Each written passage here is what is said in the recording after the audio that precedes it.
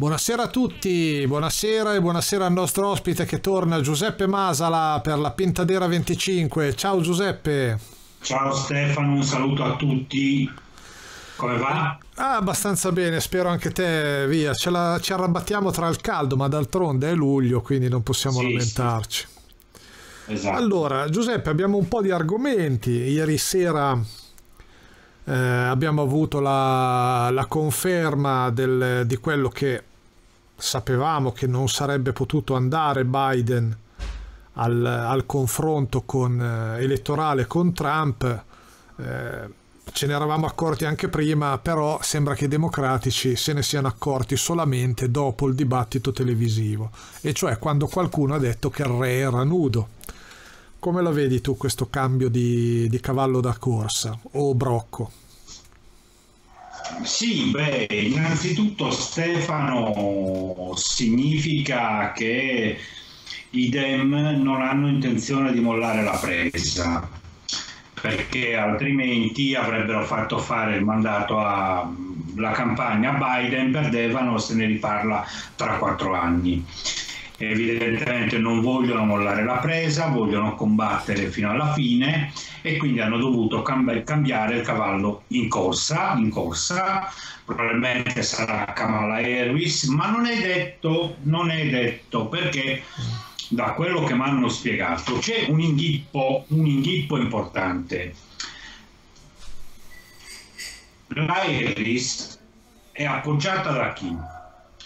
È appoggiata da Biden ed è appoggiata dal clan Clinton eh, perché? Perché sia Biden sia Clinton mh, mm, non tollerano più insomma, le continue ingerenze del clan Obama e del fatto che Obama in buona sostanza abbia mosso le fila della campagna che ha fatto fuori Biden in queste legislature. Sì, invece, invece, il clan Clinton eh, era da parte, non, non, ha preso, non ha preso parole in questa disputa. Sì, il clan Clinton che però ha detto che appoggerà la Harris perché? Perché voglio dire ormai erano marginalizzati anche loro dal strapotere, dall'egemonia del clan Obama. Eh, Obama invece non ha dato l'appoggio alla Harris perché ovvia, ovviamente eh, crede spera di riuscire ad organizzare un fronte per portare un candidato o una candidata a lui eh, piacente, diciamo così, e che gli consente in buona sostanza di fare il suo quarto mandato, due mandati eh, dire, ufficiali e due invece occulti. Un occulto l'ha fatto adesso con Biden in sostanza e un altro occulto vorrebbe farlo perché insomma Obama è ingombrante, è una persona di pe... Quindi c'è una lotta intestina potentissima, una lotta intestina. C'è la lotta intestina interna ai Dem,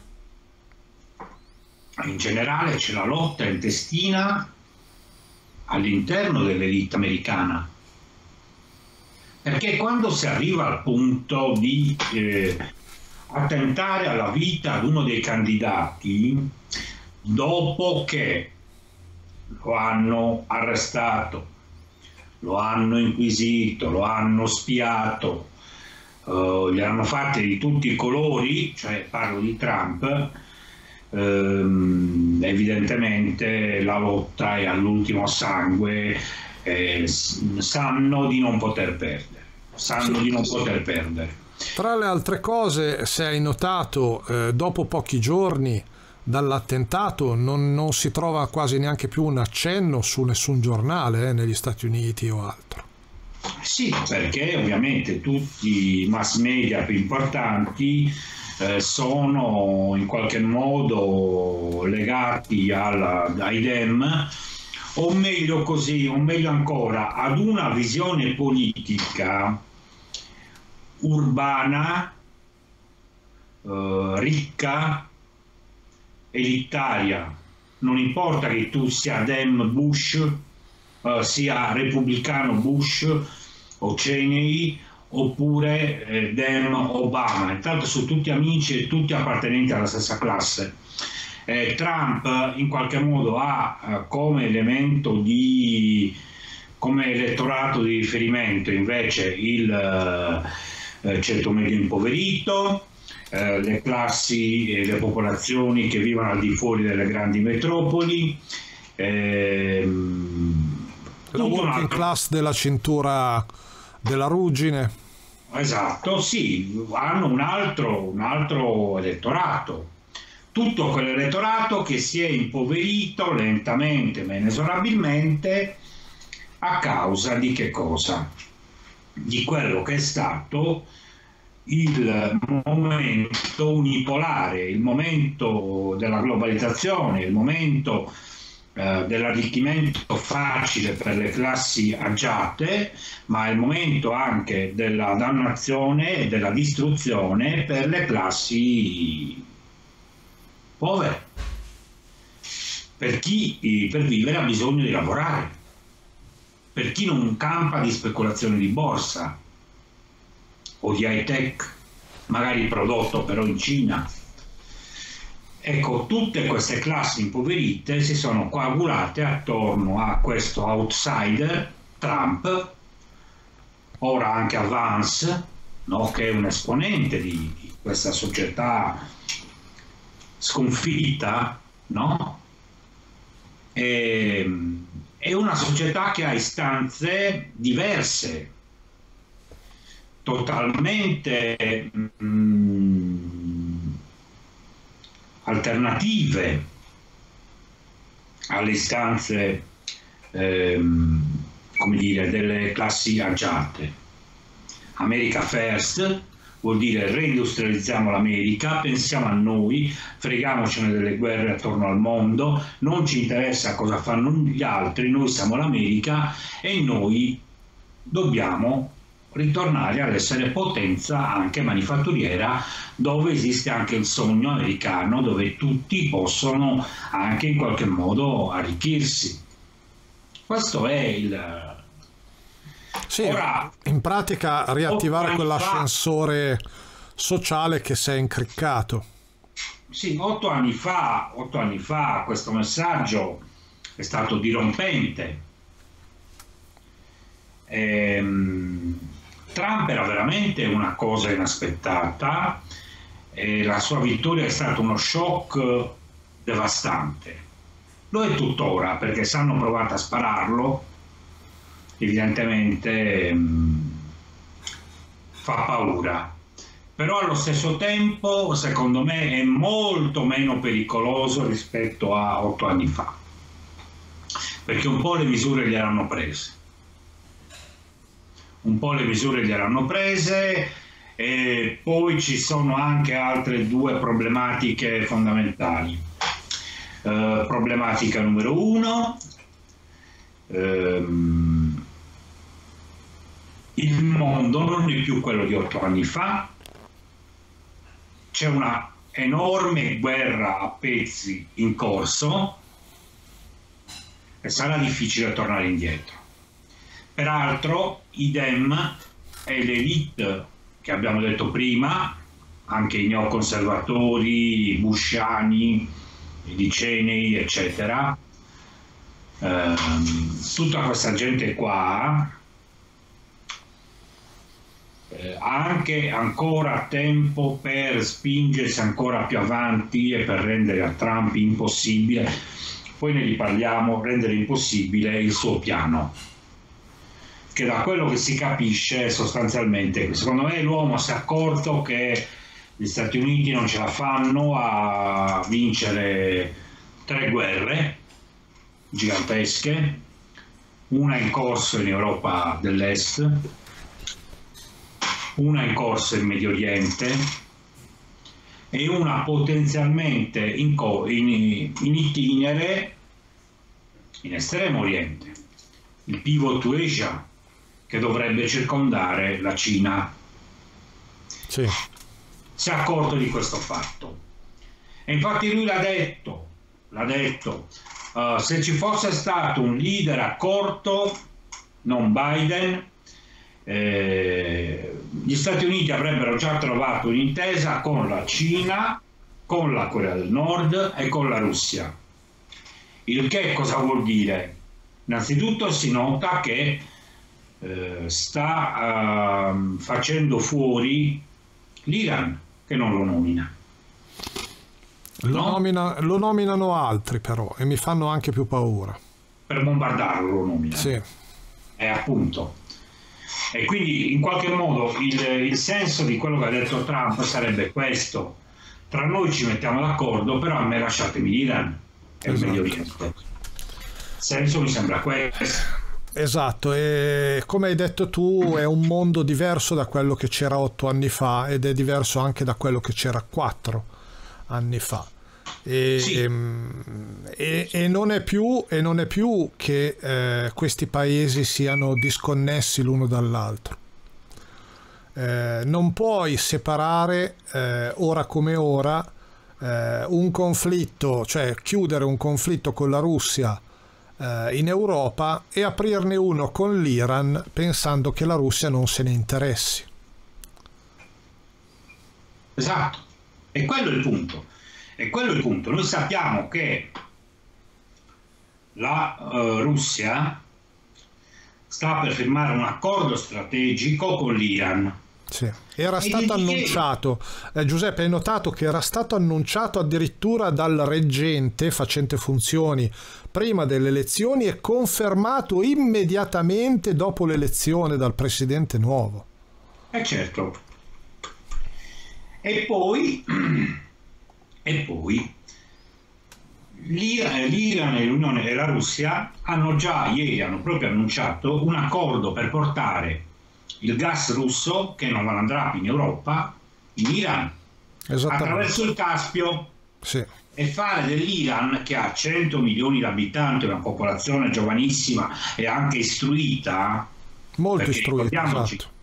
ricordiamoci che non ci siamo solo noi eh ma che ci sono anche gli altri a questo mondo. E che e in Iran ci sono più laureati donne che uomini, ricordiamoci sì. anche di questo. Sì, e la Russia vuole dare energia per farne una grande potenza manifatturiera. Esattamente. Questo perché loro, esatto, perché la, la Russia ha raggiunto il suo limite eh, occupazionale, ha la piena occupazione, non può crescere oltre, non può fare nuove industrie perché non ha la manodopera, quindi può o attingere alla manodopera iraniana o spostare parte dell'industria e investire in Iran. Esatto. Esatto. E tra l'altro quel gas sarà talmente tanto, qualcosa come 90-100 miliardi di metri cubi all'anno, eh, servirà anche per rifornire altri paesi. Probabilmente sì. Addirittura Ed parlavano dell'India. Di rimanere a bocca asciutta. Sì. Ed è una, una, una cosa abnorme perché stiamo andando verso la deindustrializzazione. Ora, in, una, in, un panorama come questo, che è maturato nel 2024 e che nel 2016 non c'era, ipotizzare che la Russia non intervenga a difesa dell'Iran nel caso di un attacco americano o russo o israeliano è pura come dire fantasia Interver- interverranno sicuramente e l'ha detto anche uh, Lavrov ieri ha detto noi ci prenderemo le nostre responsabilità in caso di attacco all'Iran. E non Anche solo. Non solo, è ancora eh, perché pensando a quanti eh, miliardi sta investendo la Cina in Iran, in infrastrutture di trasporti energetici, perché riceverà petrolio e gas, eh, e eh, portuali, eh, oltretutto perché ha bisogno di una base sull'Oceano Indiano, eh, è chiaro che difenderanno anche loro il loro investimento. Sì, sì. È tutto interconnesso che... ormai. Eh? Ormai investimenti e anche energia che poi dall'Iran arriverà sicuramente in Pakistan e dal Pakistan in India. Esattamente. Il grande obiettivo di Putin è quello. Sì. Sta nascendo un nuovo mondo e noi siamo tagliati fuori. Qua noi vogliamo fare la guerra con le pale eoliche e con i pannelli fotovoltaici che peraltro li fanno i cinesi e se non ce li vendono manco quelli ci abbiamo. Siamo governati da irresponsabili. Punto. Fammelo dire. E non mi riferisco a questo governo. Oh, non è que- per carità di Dio, non è colpa manco loro, sono qui da due anni e questa storia va da anni e anni va avanti. 35 anni. enormi. No? Tu pensa a quei piddini, i piddini per anni e anni ci hanno solo detto più Europa, qualunque problema più Europa, oppure, eh, oppure ce lo chiede l'Europa. Alla fine cosa ci ha portato l'Europa? La distruzione, perché ancora non è chiaro a che livelli. Riassumendo in breve, noi eh, dall'Europa abbiamo avuto eh, abbassamento del potere d'acquisto degli stipendi. Eravamo secondi in Europa nel 93 quando è stato firmato l'accordo per il contenimento del costo del lavoro per far fronte alla globalizzazione e oggi siamo tra gli ultimi. Giusto? Sì, sì. Dal, dal, 2002 in avanti abbiamo perso pesantemente potere d'acquisto, competitività, eh, e peso economico in Europa, eh, mentre altri paesi dell'Europa si sono fortemente arricchiti, evidentemente a spese nostre. Eh certo. Giusto? Ecco. In più abbiamo ceduto sovranità, abbiamo perso eh, il controllo sulla Costituzione che viene bellamente ignorata e bypassata a suon di decreti della Commissione europea e eh, abbiamo meno diritti di prima. Esatto perché nel frattempo ci combattono anche i diritti sociali che la Costituzione ci garantiva. Esatto. Io... Un bel affare, eh, direi. Un affarone, un affarone.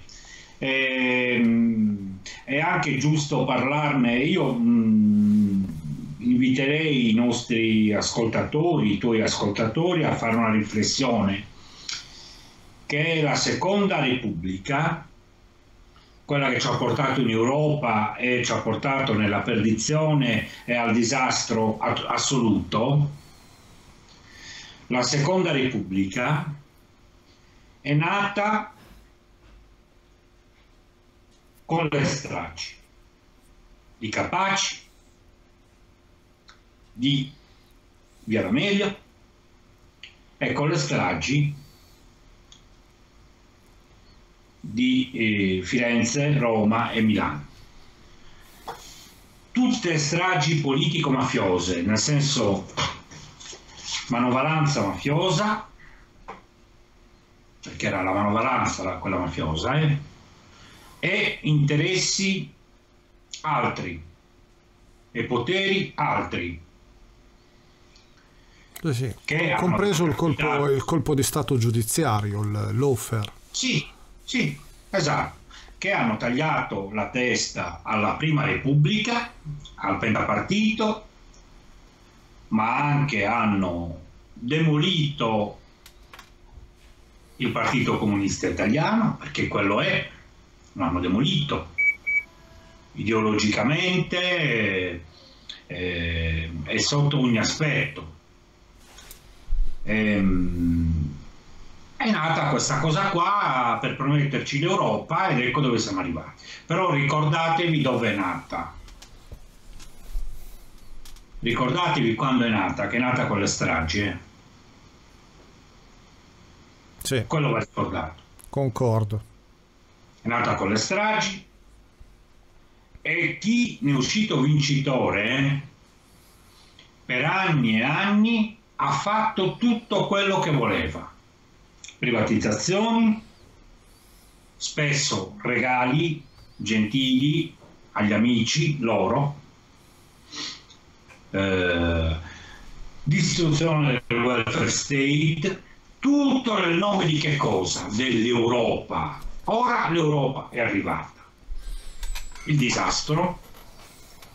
E penso sia, fatto questa premessa che io penso era necessaria, senza fare nomi, ognuno studierà per conto suo e vedrà di farsi le delucidazioni che ritiene più opportune, le riflessioni più giuste. Eh, possiamo anche parlare della nuova Europa, dell'Europa nata eh, dalle elezioni europee. Sì. Il popolo europeo, i popoli europei hanno votato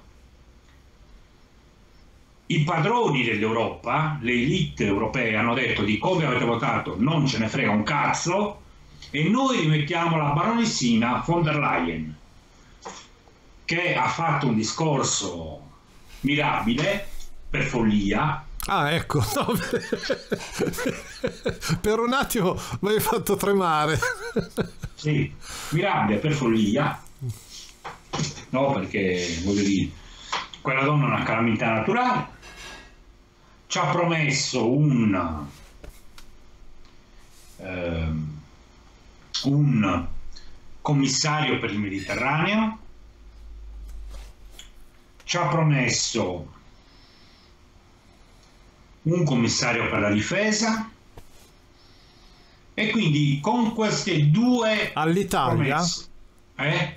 all'Italia o in senso europeo?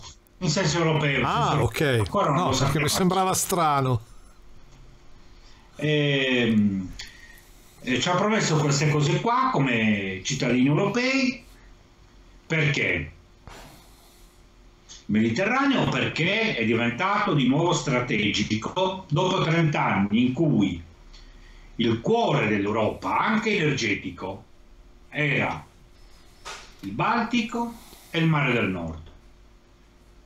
E dove nessuno ci ha fatto mai toccare palla Qualcuno ha mai pensato facciamo il, il, um, come dire, il, il, commissario del mare del nord del mare baltico così anche i paesi del sud Europa esprimono la loro opinione nel loro interesse? No. Ora che invece è centrale, vi spiego tra un attimo il perché, di nuovo il Mediterraneo, immediatamente si fa il commissario al Mediterraneo. In questo modo l'Italia non può dire la sua o fare una sua esatto. politica perché viene imposta dalla Commissione. Esatto, esatto. Allora, prendiamo il punto di vista energetico. Ormai il gas arriva in Europa da dove? Dal TAP, Azerbaijan, Caucaso, Turchia, Grecia, Puglia. Poi dal uh, gasdotto uh, algerino, Algeria, Sicilia, resto d'Italia. Libico, Libia, Sicilia, resto d'Italia il mar Mediterraneo è fondamentale. Senza il Mediterraneo siamo senza energia. Sì. Il mar Mediterraneo è fondamentale. Senza il mar Mediterraneo, senza eh, stretto di Suez, non c'è possibilità di arrivare verso i nuovi mercati dei prossimi decenni come appunto Iran, eh, Pakistan e soprattutto India, oltre che ovviamente Emirati Arabi Uniti eh, e Arabia Saudita, eccetera. Però questo è il quadro. Sta nascendo un nuovo mondo lì, eh, per i prossimi 30 anni. Noi da dove passiamo per arrivare lì? Se vogliamo fare qualcosa? Da Suez dal Mediterraneo. Sì. C'è un mar Mediterraneo che diventa centrale di nuovo per merci e per energia.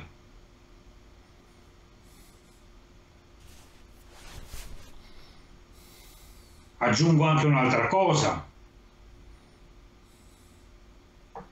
Telecom Italia, costruzione del cavo che porta i dati da Bombay alla Sicilia all'Europa. Ok? Sì. Strategicissimo, fondamentale. Che abbiamo fatto? L'abbiamo venduto agli americani. Fantastico. Le reti le abbiamo vendute agli americani. Anche le nostre interne. Sì, anche quelle interne, così ci spiano meglio. Ehm abbiamo venduto a loro ad un fondo, il KKR, diretto dal generale Petreus, ex direttore della CIA. Che strano di, che si interessi di cavi di informazione di dati. Poi ancora, poi ancora.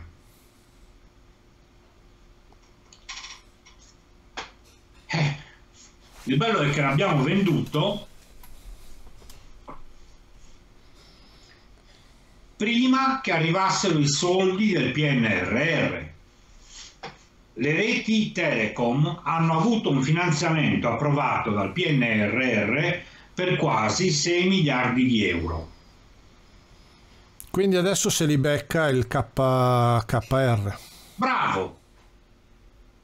Cioè scusa, siamo all'ABC, al buon senso del bottegaio, proprio quello normale. Se so che mi arrivano i soldi, faccio gli investimenti e poi se lo vuoi te lo vendo a un prezzo più alto. Bravo. Invece l'hanno venduto e i soldi arrivano a loro. Però poi il PNRR i soldi li restituirà all'Europa il popolo bue italiota. Sento le risate da Washington. sì, anch'io.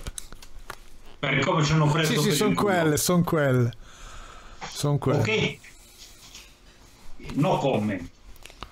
Però abbiamo della gente brava, eh, tutto sommato, al governo, dai. Non, non ti... Sì, roba, saranno stati ricattati, non lo so, buh. Ma, pure, vuoi, vuoi, ma vuoi mica che siano eh, così filoamericani da non accorgersi che, li, che le stanno introducendo qualcosa. No? Eh, sì, quindi un Mediterraneo importantissimo per quanto riguarda le eh, pipeline di dati abbiamo già svenduto agli americani ora le politiche ce le faremo dettare per le energie per le rotte commerciali dal nord Europa esatto. dalla Commissione Europoide. Quindi il traffico delle merci immagino che verranno dirottati a Marsiglia, no? magari in Francia oppure in qualche altra zona e non arriveranno a Genova. No, no, le fanno arrivare, non è, non è quello, a farle arrivare le fanno arrivare. E lì bisogna aspettare un'altra cosa, sia a Genova sia a Trieste, Venezia, altri porti, insomma non è quello, no? Eh, bisogna vedere i porti. Io ogni tanto sento una cosa, bisogna privatizzare i porti. Ah già, ogni è vero, tanto, anche quello. Capito? Vediamo chi se li compra. Mm. No? Tedeschi, Io ti dico solo una cosa. Il porto di Cagliari era in mano ai tedeschi. Anche Trieste, se non sbaglio. Sì, ma Trieste gli serviva quello di Cagliari l'hanno tenuto sostanzialmente fermo, pagavano per non usarlo, ah. o usarlo al minimo, no? Per eh, favorire i loro porti. Cioè a loro conveniva pagare la concessione a Cagliari, no? Per toglierlo di mezzo. Per levarselo dai coglioni e quindi gestivano loro capito? Allora è più conveniente così. E Madame Albright eh, continuerà. Albright, no? Si chiama lei. Sì. von der Leyen da sposata. Continuerà a fare questo tipo di politiche. Complimenti a chi l'ha votata E, e, complimenti a quelli che non l'hanno votata, ma che eh, hanno fatto tanti bei sorrisi, abbracci con lei eh, fino al giorno prima eh, che uscisse fuori la notizia che ci aveva esclusi dai posti, dalle poltrone. E allora è morto l'idillio, quindi finché si trattava di fare una divisione delle poltrone e andava benissimo, quando gli ha detto ah le poltrone non le do a voi, e allora è finito l'idillio. Sì. E adesso, tra le altre cose, abbiamo anche lo stesso problema con la Nato, perché Stoltenberg, che se ne sta andando, verrà sostituito dall'olandese strisciante, eh, ah. che odia, odia gli italiani, letteralmente. E l'ha detto più volte, ti ricordi quando disse mai soldi all'Italia, no? Sì, sì. Sì. Eh, Stiamo parlando di rotte, per capire. Sì, Diciamo che eh, la Nato da sempre nella sua come dire nelle sue cariche politiche è quasi sempre voglio dire in mano a persone del nord Europa uh, Ruth sì. Stoltenberg precedentemente uguale sempre loro uh, mentre la carica militare quella del Saceur è sempre in mano agli americani Adesso c'è Christopher Cavoli che è di origine italiana e parla anche in italiano, ma è americano ovviamente. Sì. Ehm, niente, questo è quanto. Ehm, io, vabbè, eh, hanno già fatto per quanto riguarda la Nato, abbiamo avuto noi un, come dire, un simposio, un vertice eh, uno show, uno show diciamo così, militare diplomatico tenutosi a um, Washington per i 75 anni dell'Alleanza Atlantica settimana scorsa, se non mi ricordo male, dieci giorni fa, comunque qualche giorno fa, a proposito di Nato, no? Sì. E, um, abbiamo sentito cosa hanno deciso hanno ovviamente oltre che approvare la ratificare in qualche modo la eh, Rutte, no? l'olandese, hanno deciso comunque di continuare a trasferire finanziamenti all'Ucraina, che la guerra deve continuare. Trasferiranno adesso in estate gli F-16 eh, e soprattutto hanno studiato un meccanismo per il quale eh, i finanziamenti e gli aiuti arriveranno all'Ucraina anche se si interromperanno dagli USA. I famosi 40 miliardi che devono mettere esatto. i paesi della Nato. Nel caso, nel caso di vittoria di Trump, che Trump dice non vi do più nulla, no? Ma, Questo è il punto. Scusa, ma adesso come adesso, no? Perché al di là dei proclami, poi Trump dovrà passare dalla, dal mondo di fantasia alla realtà dei fatti, no? Anche lui. Perché chiaramente eh, la situazione non è come se la racconta. Abbiamo fatto l'esempio dell'Iran, no? E dei rapporti che ci sono e che intercorrono con Cina e eh, Russia eh, ora, il meccanismo che si è introdotto, avendo la Nato, tutti i paesi, compresi gli Stati Uniti, esauriti i magazzini di materiale che non serve, non è strategico, cioè il di più, eh, ora quello che devono dare lo danno quando hanno prodotto eh, i pezzi nuovi e loro possono dare i pezzi vecchi certo. all'Ucraina. Quindi si fa sul prodotto non sul magazzino e il prodotto va pagato. I 50 miliardi che eh, vengono dati all'Ucraina con garanzia degli utili eh, dai beni del fondo sovrano russo sì. eh, vengono dati all'Ucraina in armamenti, ma vanno negli Stati Uniti per pagare la produzione degli armamenti che devono esserle consegnati. Cioè gli Stati Uniti si impegnano a consegnare questi 50 miliardi, ma vanno alla loro industria per produrre le cose che devono... E noi certo. paghiamo alla fine.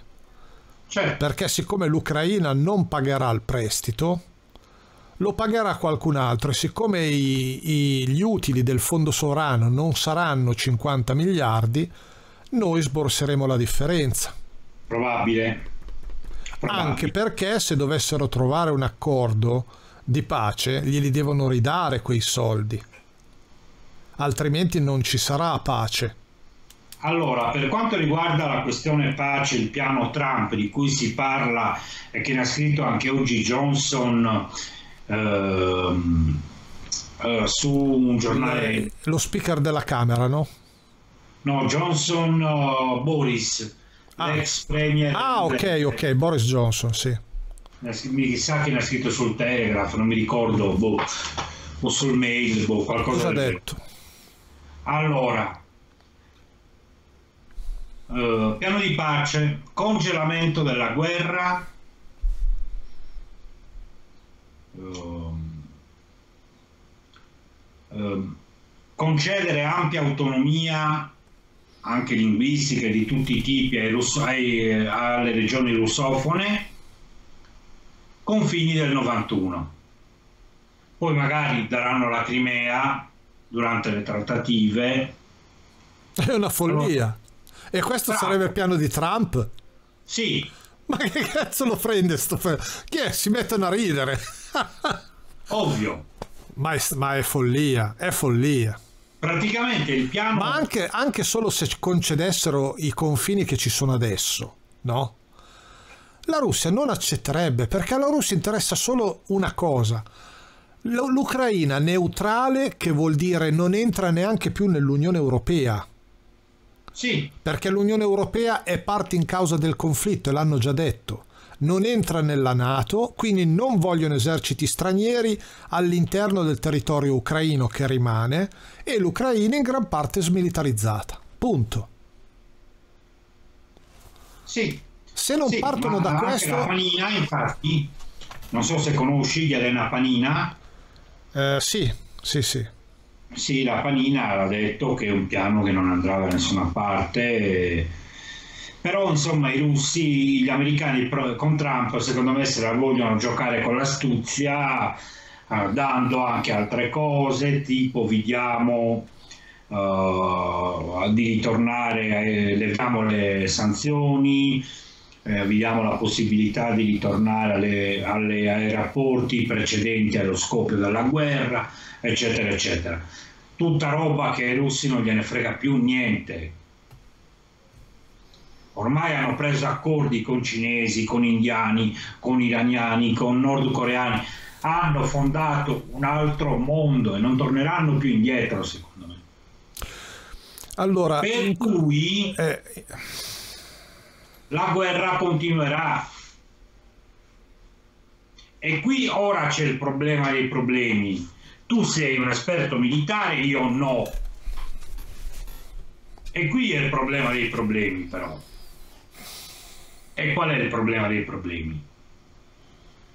Che gli ucraini finiscono. Sono una commodity, carne da macello come commodity, e presto o tardi finiscono. Sì. Cioè, per forza di cose. Finiscono le fortificazioni e finiscono l'oro. Finiscono anche le risorse eh, militari che abbiamo da mandargli. Perché non è che possiamo togliere, non possiamo togliere carri armati ai nostri eserciti per mandarli a loro. E che facciamo a questo punto? Accettiamo la realtà a un certo punto. Accettare la realtà significa che cosa? Che abbiamo perso la guerra. Ecco, e quindi questo cosa significa? Che finisce, finisce la, ehm, l'egemonia americana ehm, mm. in gran parte del globo, il deterrente della Nato è sparito mm. e, e, di fatto eh, noi eh, ci accontenteremo di tenere le sanzioni contro la Russia, di chiuderci nel nostro guscio e poi...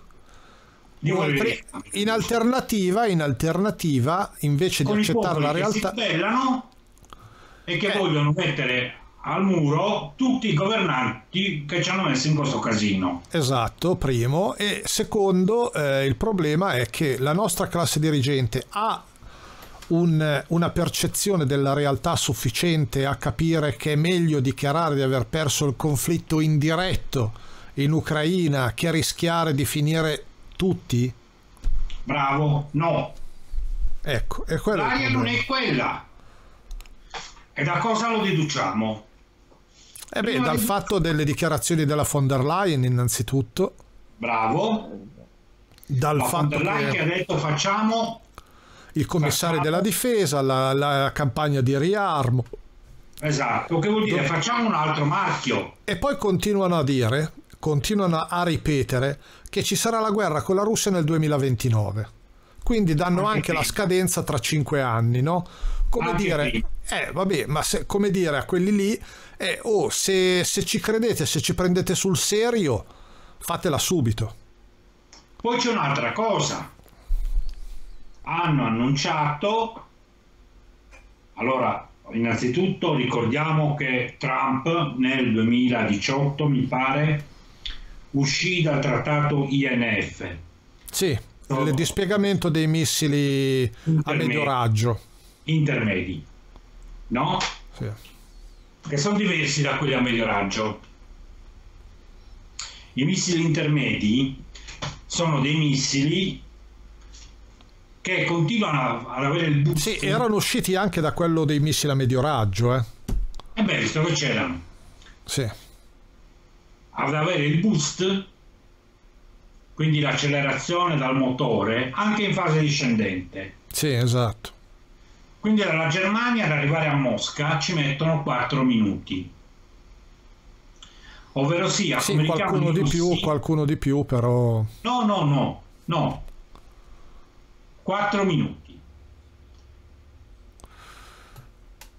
Sono velocissimi. Dalla Germania? Sì, 4 minuti. Ok.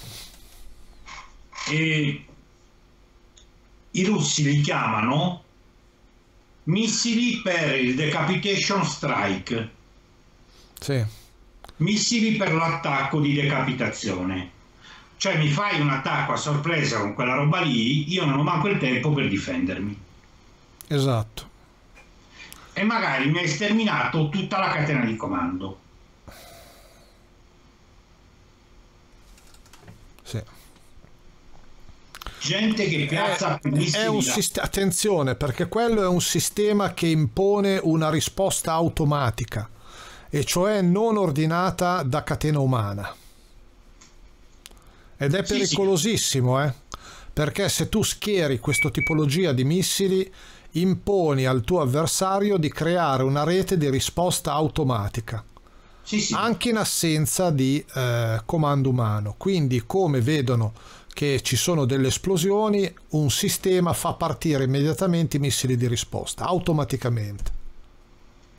Poi ancora, poi ancora. Ci sono due, le due batterie antimissile sì. in Polonia e in Romania. Aegis Ashore. Esatto. Sono, non sono propriamente batterie antimissili, sono sistemi Bravo. per l'intercettazione dei missili intercontinentali e anche per il lancio dei missili cruise. Sì, e dunque possono essere usate per l'attacco. Bloccano, bloccano la risposta eh, del, a un attacco preventivo, che è il, il rischio che indicava eh, Noam Chomsky quando spiegava che un sistema di difesa antimissile non è un'arma difensiva ma un sistema offensivo, perché va a troncare la mutua distruzione reciproca. Assicurata. Bravo. A tale proposito aggiungo il programma di Trump prevede la costruzione di un mega Iron Dome negli Stati Uniti. Personalmente io ritengo che qualunque sistema antimissile trova il suo livello di missili a saturazione per il quale o a falsi bersagli per il quale voglio dire alla fine passano cioè il sistema antimissile in realtà una trovata per far fare miliardi alle industrie. Esattamente. Eh, perché poi alla fine a passare passano. Eh, però intanto lo fanno e ti danno la falsa percezione che tu sei invulnerabile. E anche la von der Leyen nel suo discorso, come dire, come, come l'ho definito prima, delirante e voglio dire stratosfericamente delirante, lo ha detto che anche l'Europa deve dotarsi di un sistema antimissile che la protegga. Non sono tutte queste cose il segno che si sta andando verso la pace, no. ma al massimo queste trattative trampiane mi danno l'idea di un qualcuno che vuole guadagnare tempo. Sicuramente sì. Sicuramente sì. Poi se sono queste le premesse, assolutamente non è un piano che servirà a, a, a risolvere il problema. C'è troppa gente che ha delle false speranze. Eh, io lo ripeto spesso Anche che una volta che poi eh, si trova a dover fare i conti con la condizione reale dell'economia americana, beh, eh, le scelte sono limitate. Eh. Le scelte diventano esatto. molto limitate. Purtroppo la condizione anche finanziaria, anche monetaria, non è delle migliori. E più nasce un mondo nuovo, più nasce un mondo nuovo, Russia, Iran, India, Cina, eccetera, più l'Europa gli Stati Uniti, l'Occidente diventano marginali. Sì, oltretutto stanno guadagnando enormi eh, spazi eh, di influenza commerciale in Africa. Anche, sì, anche. Anche l'India, è... eh, anche l'India, teniamo presente. Non è che l'India non, sta, non si sta ricreando il suo spazio lì, lo fa anche l'India. Questo è quello che, che ti sto dicendo. Sì. È una situazione non delle migliori, insomma no? Esatto. Non è una situazione delle migliori, per come la vedo io. E voglio dire, la situazione economico-finanziaria americana è quella di chi appunto ormai ha oltre 20 mila miliardi di, di debito di posizione finanziaria netta, passiva, ha un, oh, allora, il saldo delle partite correnti passive dal 78 mi pare, ha la bilancia commerciale passiva dal 72. Io lo dico e lo dirò sempre, attenzione, su questa faccenda gli americani non hanno tutti i torti quando dicono non ci potete lasciare col culo per terra. Hanno molte ragioni dalla loro parte. Sì, sì, tutte le volte che lo dici si scatena il putiferio tra lo i commenti, so. ma io ho capito il discorso che fai. Allora, oggi è, il, oggi è l'anniversario dell'inizio della conferenza di Bretton Woods.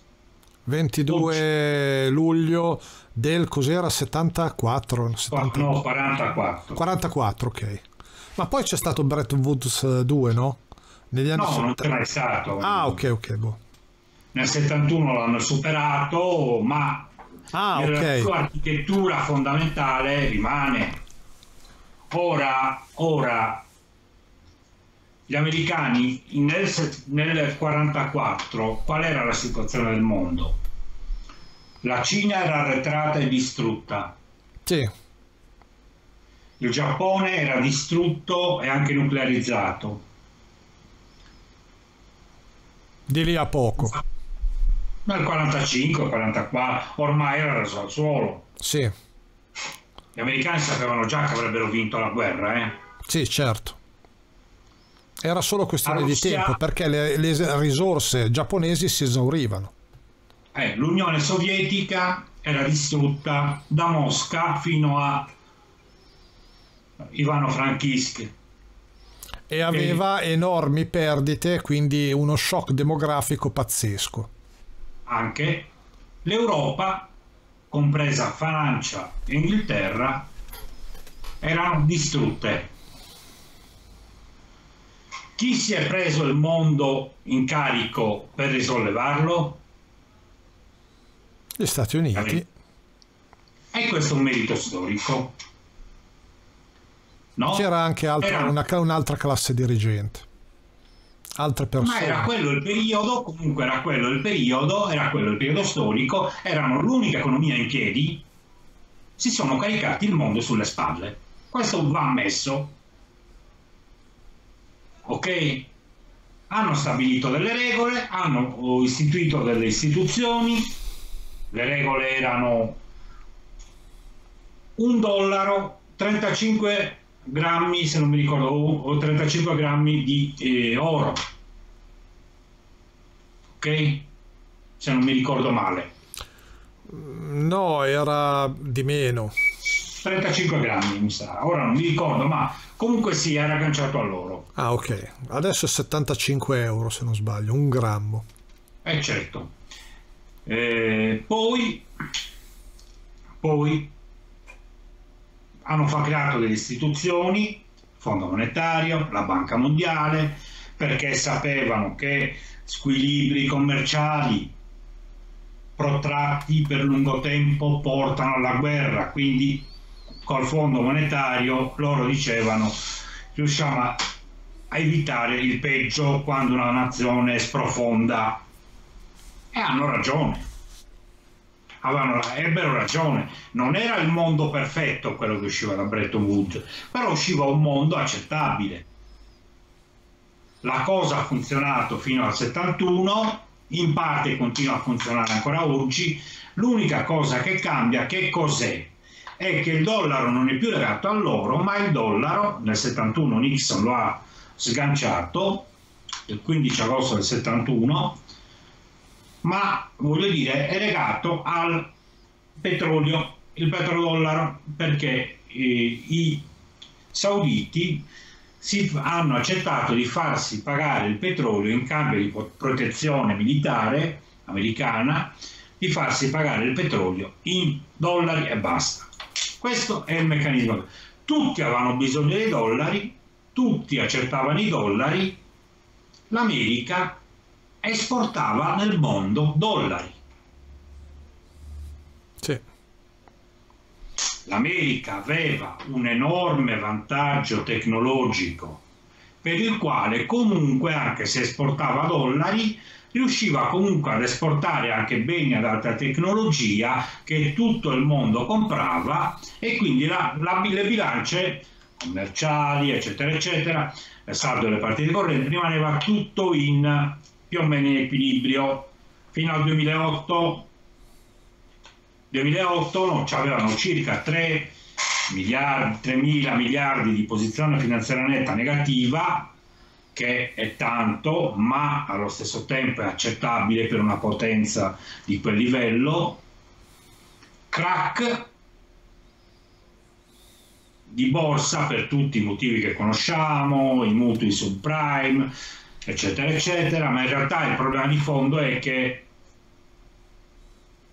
i finanziatori internazionali stavano ritirando i loro capitali certo. e hanno fatto il crack.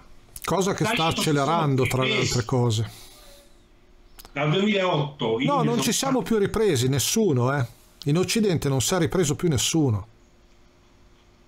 Ma gli americani in 16 anni sono passati da meno 3 mila miliardi di posizione finanziaria netta a meno 20 mila miliardi. Ormai tutto il mondo si spaventa e dicono noi ritiriamo i capitali, gli americani con delle operazioni che si chiamano repo, fatte dalla banca centrale, ok, che noi in Italia, in Italia chiamiamo pronti contro termine, rifinanziano le banche con i soldi che vengono sottratti dagli investitori esteri così che da non farle crollare.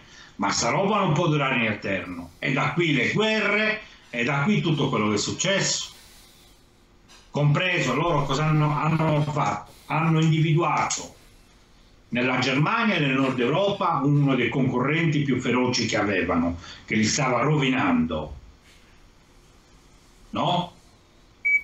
Hanno individuato in questi paesi qua e hanno fatto saltare il cordone ombelicale con la Russia perché loro, loro lo dicono la Merkel deve spiegare questo discorso si fa dare il gas a basso prezzo dalla, dalla Russia. Producono con basso, basso costo prezzo, e sono più competitivi dei nostri. E ci mangiano il mercato americano, dalle automobili a molte altre cose. Come se non bastasse, diceva Trump, noi americani spendiamo soldi per pagarvi la difesa. Esatto, e diceva voi dovete pagare le nostre spese. Bravo. Cioè, non è che gli americani hanno tutto torto. Poi c'è l'altro corno del problema.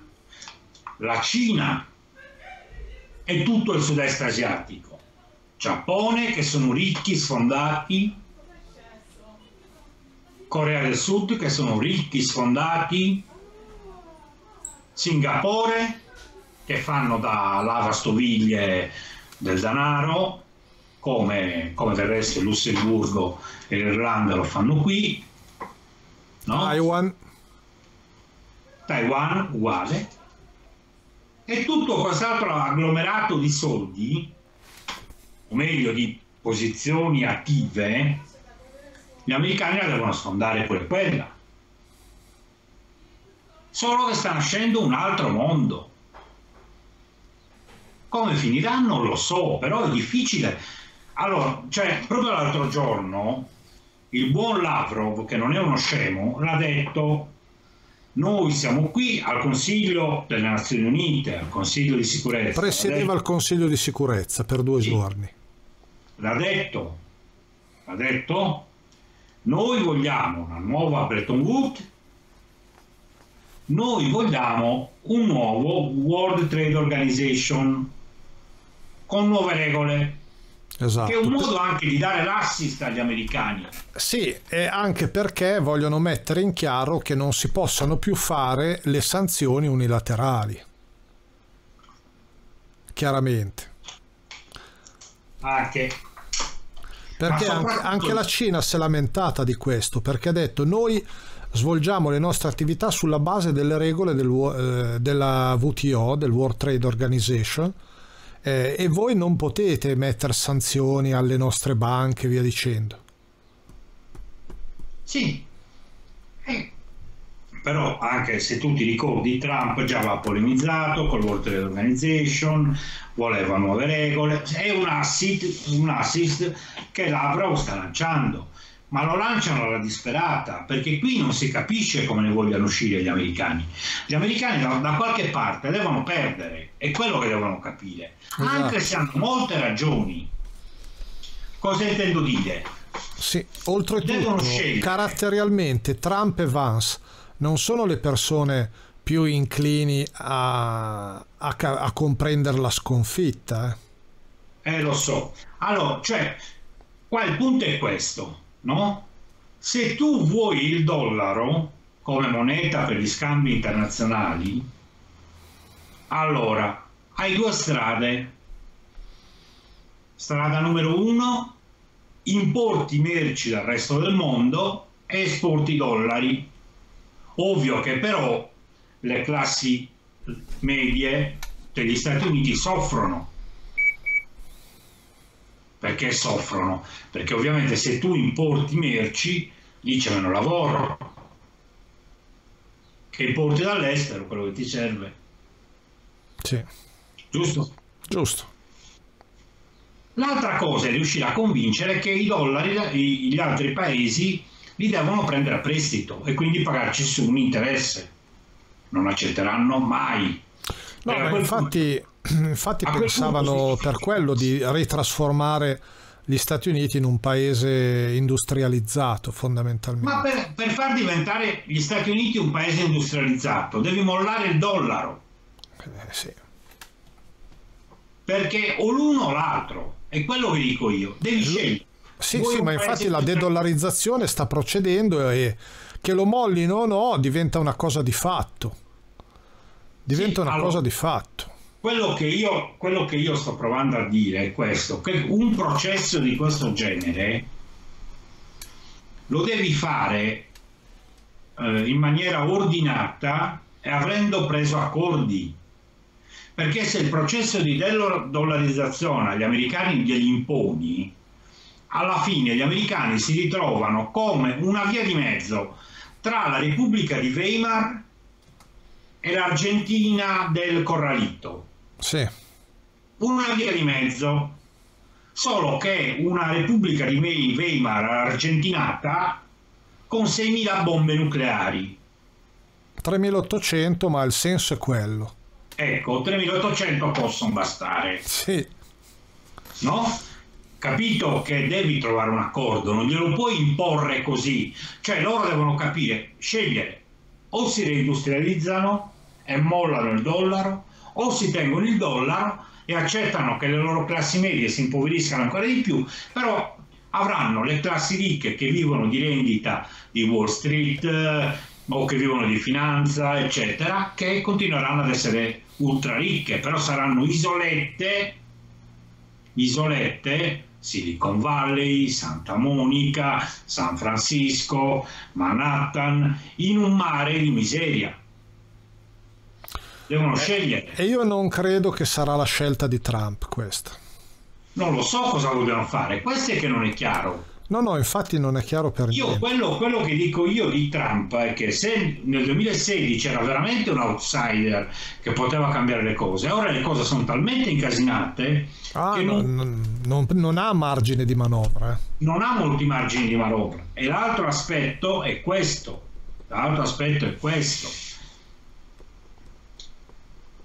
A me mi sembra che stia prendendo tempo quando dice porterò la pace nel mondo, perché non ci sono i presupposti tecnici tra quello che vogliono loro e quello che vogliono gli altri. E per eh, altri intendiamo tre quarti del mondo. Eh? Sì, eh, oltretutto intendiamo anche eh, nazioni che sono in grado di difendersi. Perché anche quello conta, eh? E altro che. Cioè, eh, non, è, qui... non è l'Honduras per capirci gli altri. Sì. Con tutto il rispetto per l'Honduras, però sì. per dire, il classico solito nemico degli Stati Uniti è il paesino di turno che tipo Panama fanno le spedizioni punitive, tipo Grenada. Sì. No? Le uniche guerre che hanno vinto alla fine delle fini. E poi, insomma, vediamo anche altre realtà. Vediamo, oltre che appunto il posizionamento nel 2025 appunto dei missili a raggio intermedio che poi saranno nuovi missili a bassa osservabilità radar sicuramente, nuovi missili probabilmente anche ipersonici, quindi ancora più veloci, eccetera, eccetera. Quindi una roba, ma abbiamo anche appunto uh, queste scaramucce come per esempio i B-52 che si spingono fino al mare di Barents. I B-52 che erano di tipo nucleare, eh? cioè nel senso sì, sì. che abilitati al trasporto delle armi nucleari, missili con testata nucleare. Eh, tant'è che sono decollati da parte russa eh, MiG-31 e eh, MiG-29. Perché sono decollati queste due tipologie di aerei?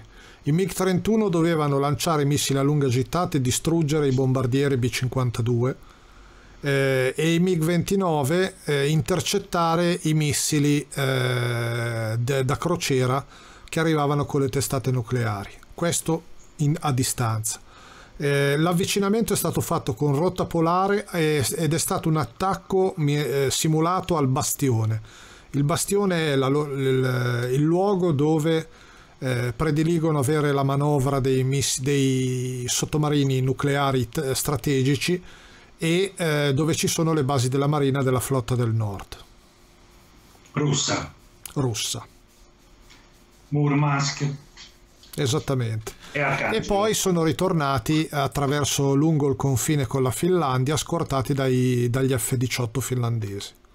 E oggi, oggi, oggi i B-52 Stratofortress sono arrivati in Romania, prima volta in assoluto. Eh, ah, sono atterrati? Sì, sì. Perché di solito volteggiano da quelle parti in taxi. Arrivano fino lì e poi tornano indietro. Sono atterrati questa volta. Ma è un, appunto dall'idea della situazione. Oppure ancora, voglio dire, le 15 basi in Finlandia dove arriveranno gli americani cioè la realtà di fatto non è quella di chi sta costruendo la pace. Sì, ma di chi sta, si sta preparando al conflitto. Al conflitto aperto.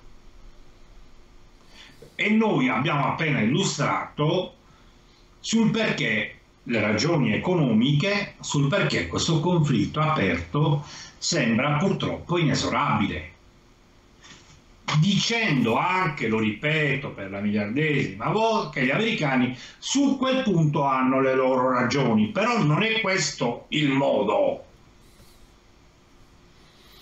Sì, il problema che hanno è che molti eh, che ricordano eh, purtroppo eh, due figure, i, i generali del, del, film Il dottor Stranamore di Stanley Kubrick e eh, quelli di Fail Safe eh, mm. con, eh, con eh, Henry Fonda e, e, in entrambi i casi eh, c'era sempre qualcuno che diceva approfittiamo della situazione e eh, scateniamo l'attacco totale perché non avremo un'altra possibilità come questa di coglierli di sorpresa.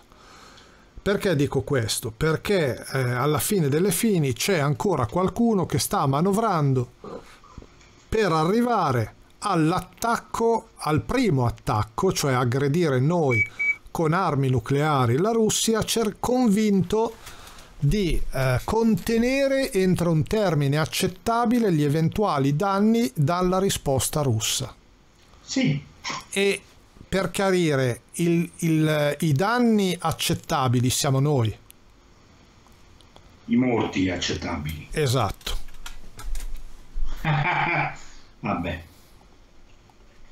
Sì, sì, sì, sì, hai detto bene tu. Eh.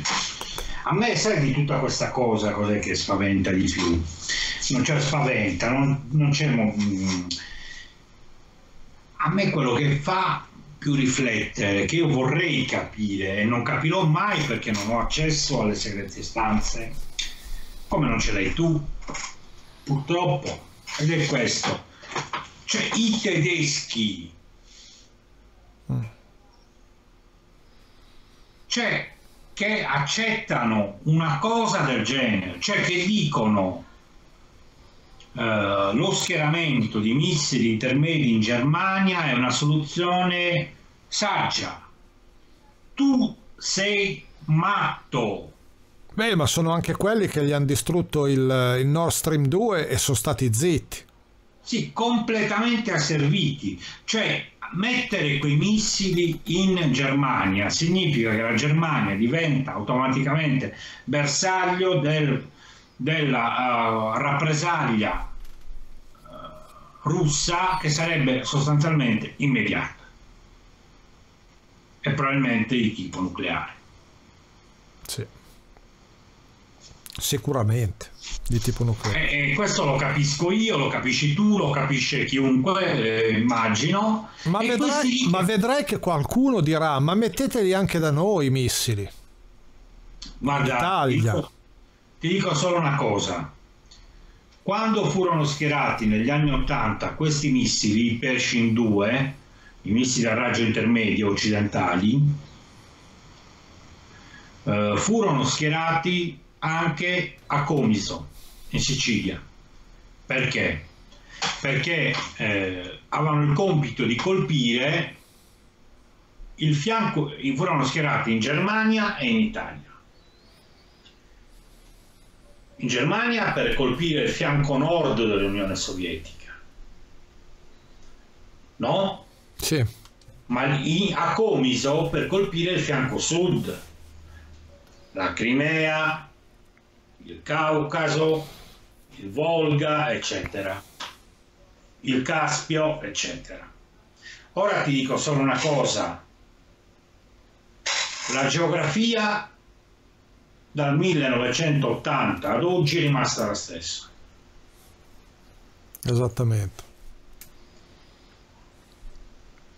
Se li mettono in Germania, molto probabilmente ci chiederanno di metterli in Italia. Oppure Sempre li metteranno che... in Romania o, o in Sempre qualche che paese li stiano già mettendo e non dicano niente. Esatto. Benissimo. Va bene, direi, avevamo altri argomenti, ma direi che abbiamo fatto qua un'ora e venti e eh, possiamo anche finire la puntata. Benissimo, la Pintadera okay. 25 si chiude. Ringrazio il nostro ospite e co-conduttore Giuseppe Masala. Eh, abbiamo fatto passare sei mesi dalla scorsa puntata. Speriamo di non lasciare passare altrettanto. Un saluto e un abbraccio a tutti voi, iscrivetevi ai nostri Ciao. canali Ciao. e via. A presto. Ciao.